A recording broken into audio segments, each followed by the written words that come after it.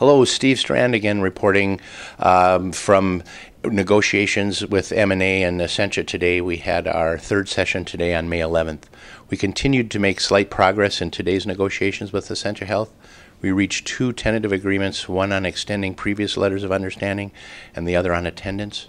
From today's discussions, it is apparent that management is content with the way staffing shortages are addressed and in addition is unwilling to commit to regularly hearing nurses' concerns and voices about workplace violence. Management said our workplace safety and staffing proposals add contractual inflexibility. We believe that keeping patients and nurses safe is not a matter of flexibility, it's a necessity. After several negotiating sessions, it's clear management is inflexible uh, in insisting on its positions on staffing, FTE creep, and workplace safety. It's also clear management views the entire contract with nurses as a burden.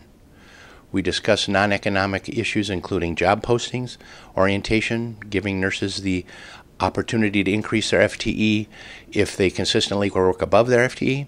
We look forward to discussing economic issues in the future.